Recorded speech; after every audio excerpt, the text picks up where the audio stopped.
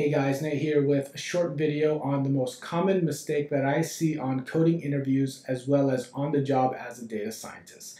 Let's get started right Alright, so the most common mistake that I see happens to both new and experienced data scientists, and the same mistake happens both on the job as well as on coding interviews and it happens on one of the most common questions a data scientist has to solve. All right, so the gist of the question is this. Find the highest or lowest value or record in the data set.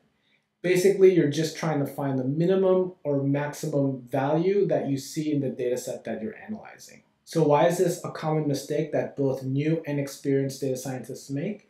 Let me show you an example to illustrate my point you can follow along with me in the link that I provide in the description. So this question reads, highest cost orders by Amazon.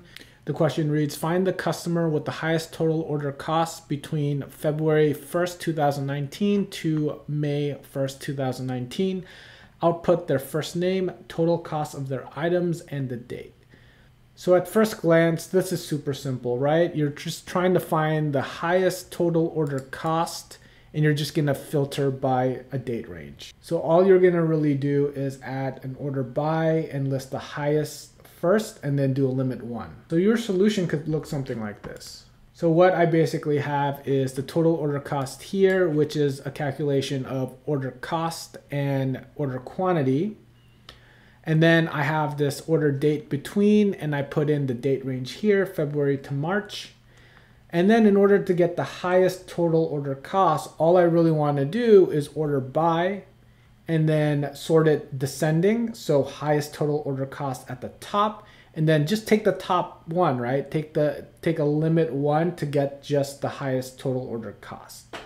And so nine out of 10 times, both new and experienced data scientists and analysts would actually solve the problem this way because in order to get the total order cost, this is the perfect way to do it, right?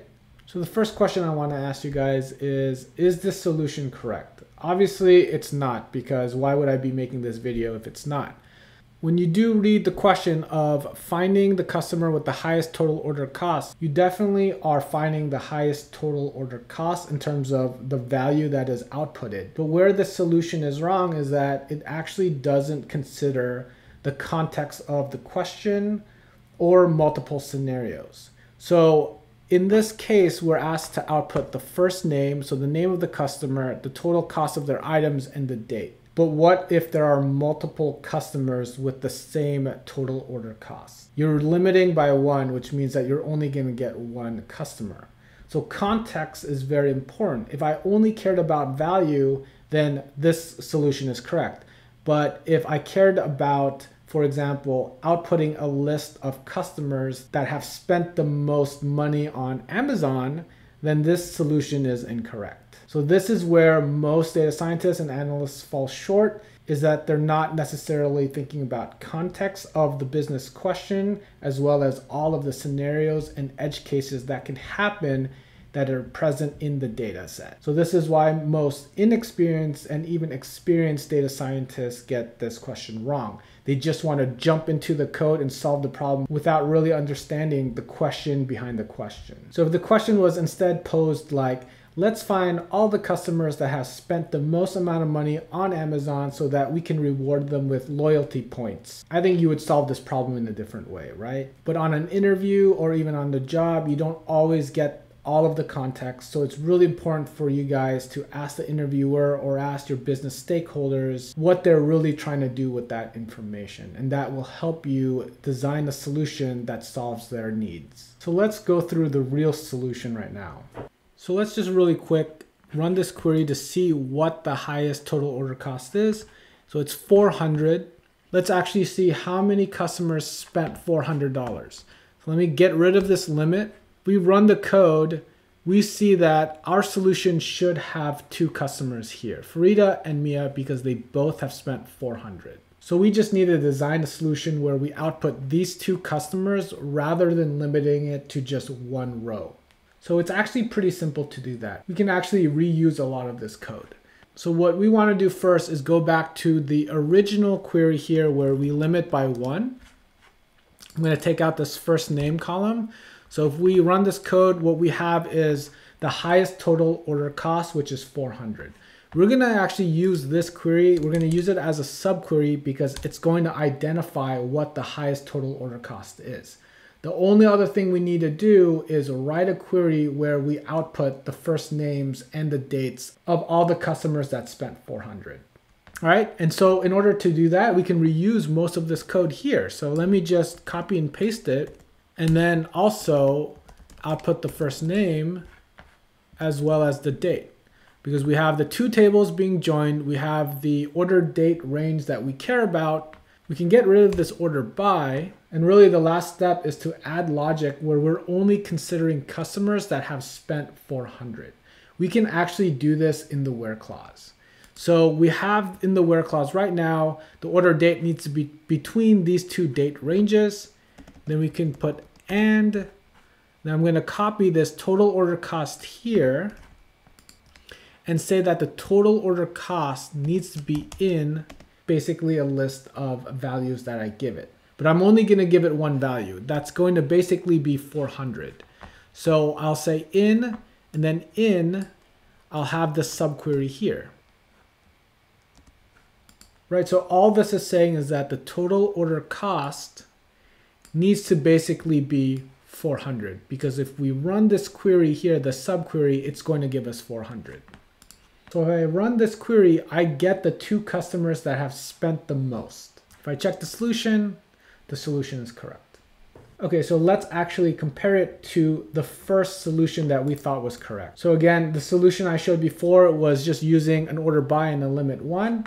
If we run this query, we only get the first customer, right? Mia. We don't get that second customer. And so it's definitely going to be wrong.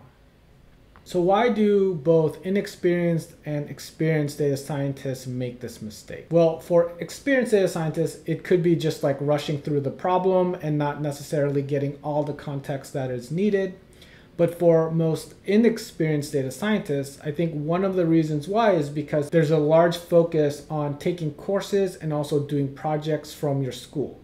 So courses like courses from Udemy, for example, they focus on teaching you how to code, so they focus on syntax. Projects like projects from courses or schools, they often have clean data sets. So you don't have edge cases or real world scenarios that you have to actually think about and then solution for. So the code that you write, like this order by limit one code, will work on a clean data set but it's not going to work on a real world data set where there are real world problems and there are data at scale issues that you really have to sort through. So how do you get better? Do problems that reflect real world situations. I would say if you understand the syntax and know how to code kind of well, do problems that reflect real world situations. If you're pretty good with syntax already, then start to transition over to a platform that has real world questions, that has data sets where there are real world scenarios that you need the solution for and edge cases that you need to compensate for in your solution. You can do interview problems even if you're not interviewing. These interview problems always have these real world situations that you need to deal with. That's what an interviewer is actually looking for. So I posted three resources in the description I've personally used all three resources to help me get better as a data scientist. I even built one of these resources because I wanted to tackle this exact problem. So remember, a good data scientist can identify all of the scenarios, design the solution, and implement that solution through writing code and manipulating data. That's what you're graded on. So I hope this is helpful for you, even if it is obvious. So if you like content like this, covering these types of topics, please subscribe to this channel.